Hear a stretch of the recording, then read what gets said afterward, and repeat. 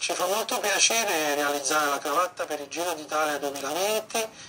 Il 2019 è stata una gran bella esperienza eh, che ci ha portato grande soddisfazione. Nel 2020 le, due, le cravatte saranno due, fondo ble entrambi, con l'aggiunta di un regimental sulla parte principale della cravatta e invece sul fondo della cravatta a sinistra una variante avrà il logo del Giro d'Italia, l'altro ci sarà la Coppa. È un piacere di affiancarsi a delle eccellenze nazionali. Per noi il Giro d'Italia è una bandiera nazionale nel mondo, un'eccellenza italiana e quindi ci, ben ci riconosciamo e ci fa piacere affiancarci a dei brand e un po' alla storia d'Italia.